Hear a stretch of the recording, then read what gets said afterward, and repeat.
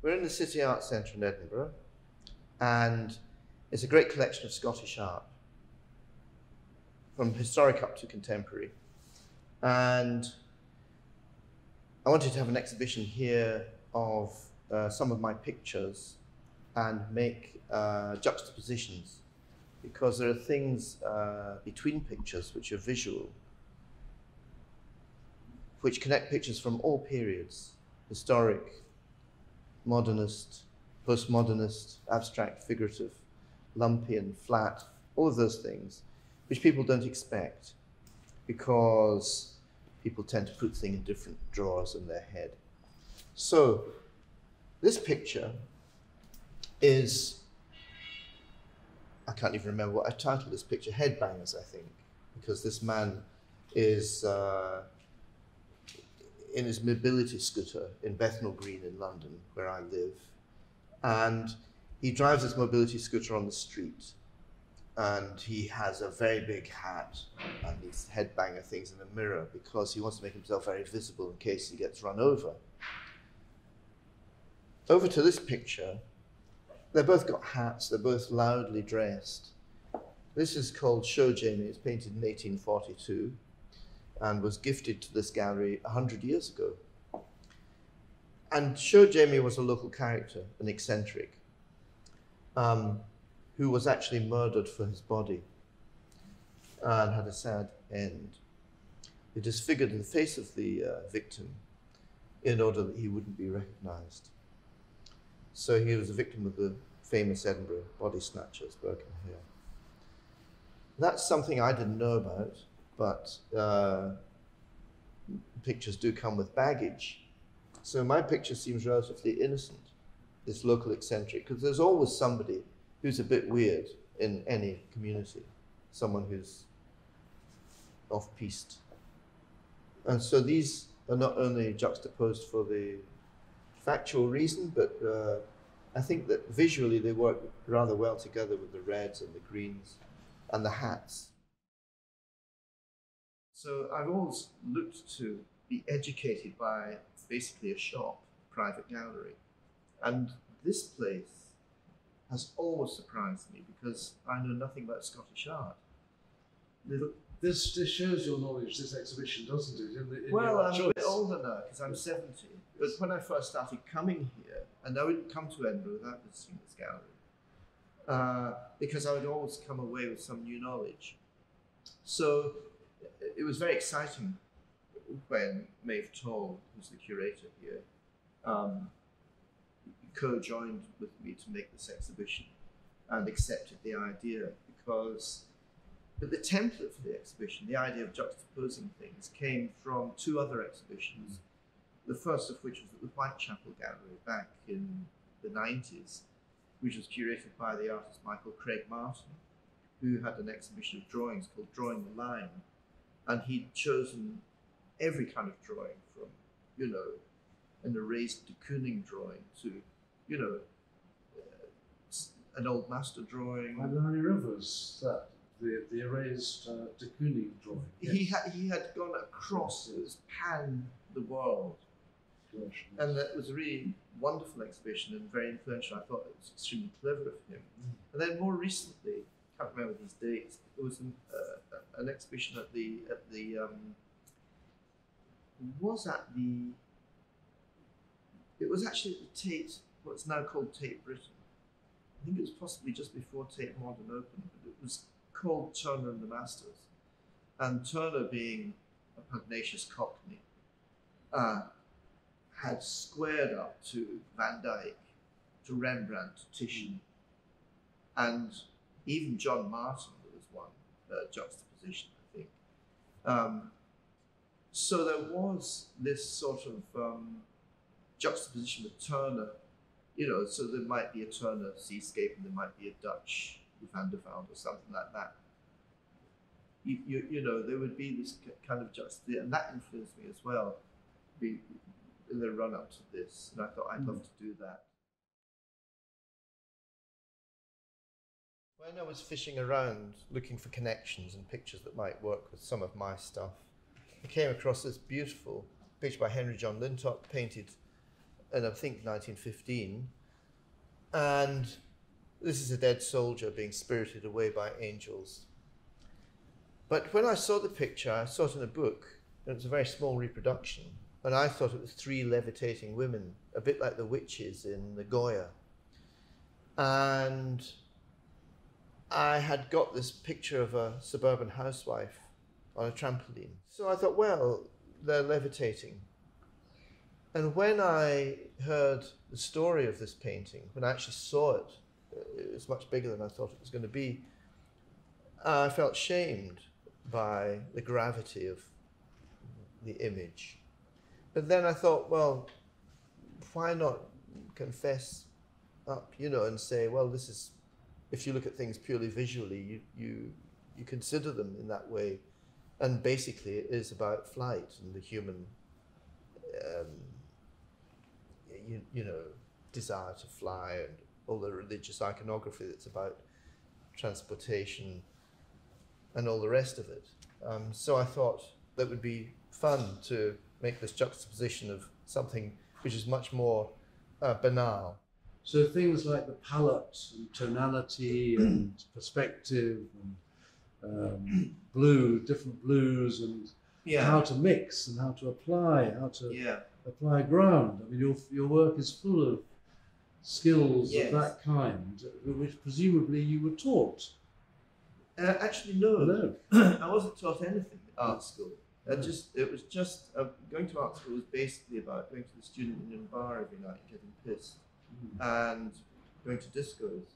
In fact, what um, I think that if you were taught anything, it was more of an intellectual discourse. Seriously, Hmm. because I went to Chelsea Art School and uh, you had a space and you chalked your name up in the space.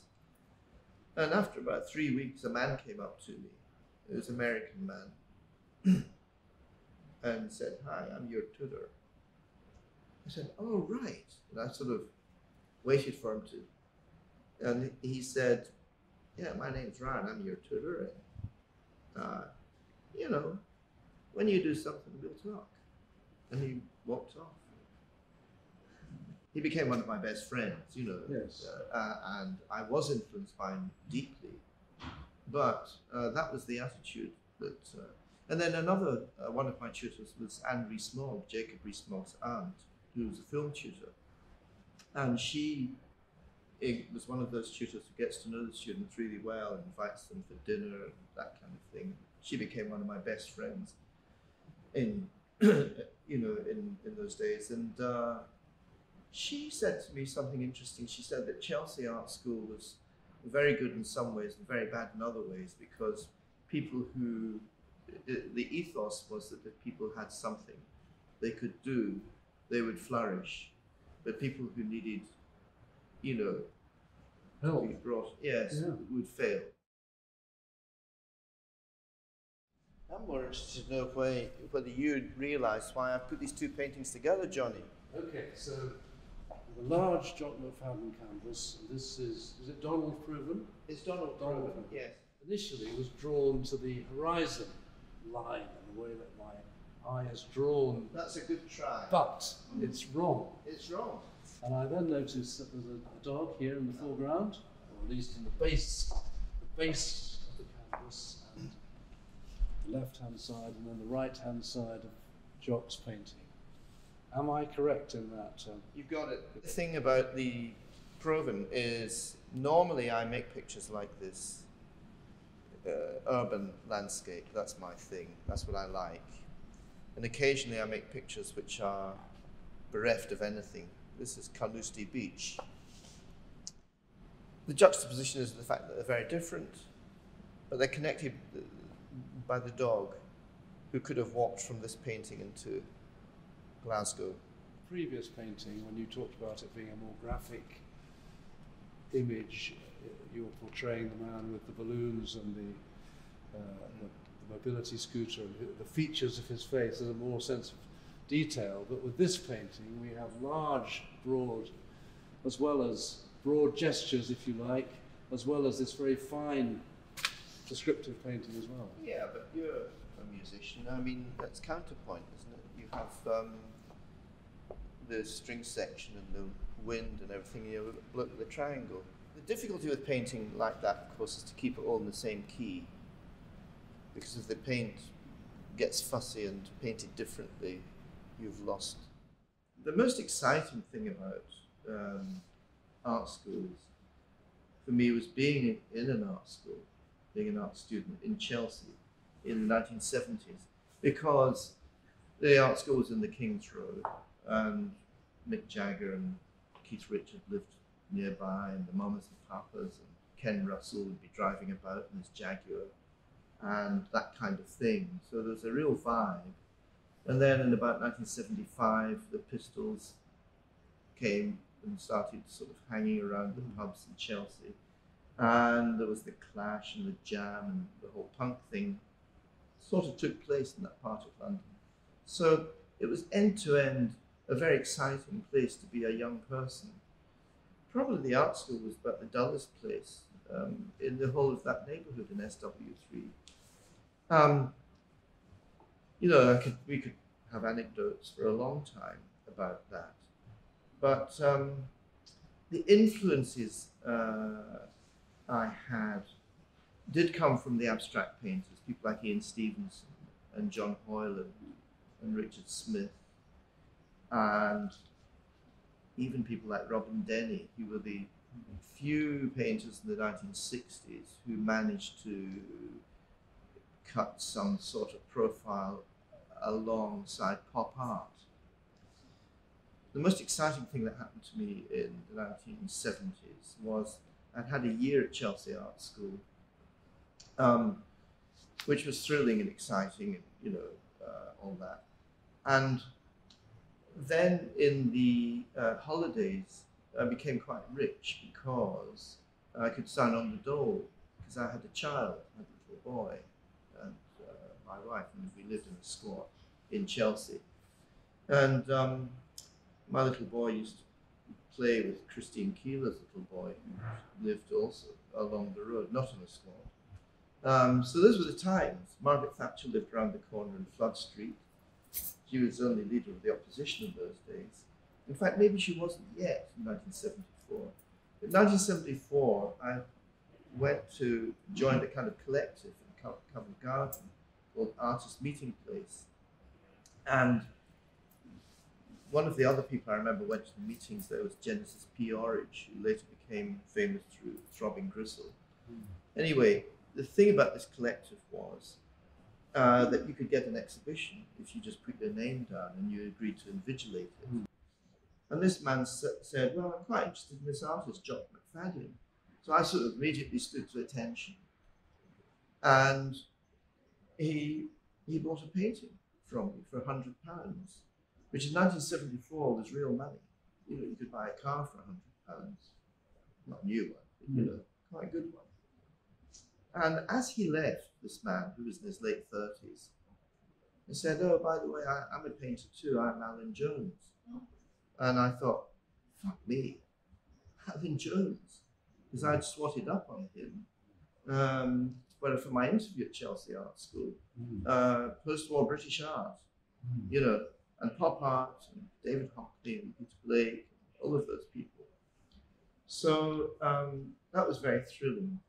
And when I went back to the art school after the summer holidays, um, and I said, oh, I sold the painting to Alan Jones. Nobody believed me. We're looking for threads of connection between disparate works. Although Barns-Graham, as you pointed out, was a Scottish artist working in England, uh, same here. But none of that bothers me. What interests me is uh, this shape here, uh, making a connection with that shape, the color. These marks are a bit like graffiti, these abstract um, gestures. And this bottom half of this picture is actually a real part of a real graffitied wall, which I've stuck on some wallpaper. So I guess the colours that are picked up are just fortuitous and lucky. And it's with that spirit that the rest of the juxtapositions have been made. I think all painting's abstract. I mean, uh, it, even if it's a photorealist painting, you go that close up to it. I remember when my uh, grandfather, uh, who worked in the shipyards, used to, uh, you know, give me lunch on Saturdays sometimes. He took me to Kelvingrove Art Gallery in Glasgow. And he showed me the great Salvador Dali painting, St. John of the Cross, looking down on the head of Christ with red drapes. And the other thing he made me do, he pointed out post impressionist paintings. And he said, said, if you go close up to them, you can't see what it is. If you stand back, back, it all comes into focus. So uh, that is, there's something uh, in that which uh, I've always remembered that uh, pictures are shapes and colours, really, that's all. And texture. Can you say something about the, the human presence in your paintings? You mean the absence The subject, the subjects that you choose to paint, in a sense. It's a question about the subject, I think, is interesting. difficult, though, Johnny, because everybody says that to me. Some people say the buildings are the people. Yeah. I don't see any of No. that. It's something other people see, but that that is um, probably the right way round. Because if I saw it, I would probably start to address it, and then it would not possibly work. And I think there must be something in it because everybody says that. They say, "Oh, there's the there's a presence there," and I don't get it at all. I just think I'm doing a place. And then, but I, I, I, tr- I do believe what you're saying. I think people see this, and um, I don't. I think people often ask, you know, why do you, what do you paint, why do you paint such subjects, and Yeah. it's it's kind of why would you why would you answer that question? It's like uh, it probably goes back to your student days or even before your student days when you when you're when you're becoming a young artist. And I wondered if you you have a large a studio in London where you pay, much of this work has been painted yeah. in London. Yeah. you- all yeah, all in London. Yes. All. And in a way, that's from memory and from studies and from. It's a life's work in a sense. No studies. No. No studies, No. no sketchbooks, No, no, none. sketchbooks. Don't ever draw. Mm. It's a terrible thing to say. So when isn't I it? referred to the drawing in your paintings, the Yeah. sort of structure and the, yes, the way that you compose the paintings, it's, Yes. it's all in the painting. it's all in the paint. There's no drawing. There's no preparation. Because in a You way, know. the teaching situation is when you're almost offering advice to a student, like you could try this, or why don't you? Uh, That's the trouble with teaching. You know. I didn't have any advice to give. And I was a terrible teacher, and I used to go to the Slade every Thursday. And um, I think the trouble with teaching in art schools is that it's an impossible thing because if the student is any good, you don't really want some bloke coming up and talking to them about their work. They're too busy and involved in it. Yes. And if, although influence is something which is important, and you, you know, the, the Germanic way of having the studio system, where you work under a master, Mm. not a very fashionable word these days, then you would have, you know, for example, Kiefer studied under Beuys. Well, look at the colour scheme of Kiefer. Beige, Mm. waxy, Mm. sticking things on. You can see what he's taken from Beuys, in my opinion. Rust. So you worked under the master, do you mean? looked That was the yeah. studio system. You would go to um, uh, an art school, and each studio would have a master. Them mistresses. I'm sure some of the masters would have been women. Mm. And you would go to the first room, and if that master didn't want you, you would go to the next room. And if he didn't want you, you would go to the next room. And she didn't want you, let's say. Uh, and then if no, none of them accepted you, you would have, you, you hadn't got in. And that's how that worked. So we have Ghost on my right here, your painting, called Ghost. Mm-hmm. And this is a Kirkwood, I Mhm. believe. And if you could say something about this particular juxtaposition. Well, I saw this John Kirkwood picture in the store, and uh, I was drawn to it probably because of my sort of past in the west of Scotland industry, shipbuilding, boiler making, uh, grunge, rain, wind, steam and speed. I don't know. It just seems to be uh, very much resonant of the detritus of, you know, the fag end of the Industrial Revolution. And the underground stations in London, which is Ghost, my painting, quite often they're very, very distressed and unmodern and decrepit. And of course, they've got sort of dark associations of, you know, unknown tunnels, disused tunnels, occasional bodies. Um, someone throws themselves in front of a tube train, I think twice a week in London, something like that. And the driver gets a day off if they hit someone. So these are the associations. Uh, so dark in terms of atmosphere. But I just thought it was such a fabulous offering for uh, a visual connection. And there are moments of red here, as in some cabling along the bottom of the picture, and also a wee bit of a reflected light there. So I just think these paintings uh, are great friends, really. But I didn't actually paint any of my pictures in response to any of the pictures in the show. So all of these juxtapositions are complete coincidences, which makes it much more exciting, I think. So Jock McFadyen goes to the pictures and he brings he brings pictures Yeah. from his well, the pictures represent Yeah. me. You and know. they come together with these examples that- and they're yeah. they're very considered um, placed side by side in very interesting ways. Yeah. Fascinating. Thank you very much for your Well, comments. thank you. Yes. It's always a pleasure. Okay.